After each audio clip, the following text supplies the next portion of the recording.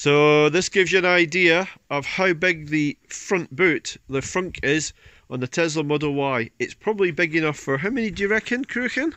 How many do you reckon we would get in here? What? Definitely two Cocker Spaniels.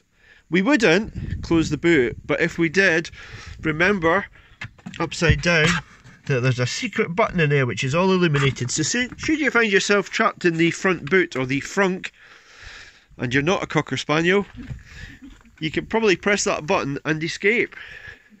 There we go. That's it. He looks quite happy. Come on in, out. And there he goes, happy.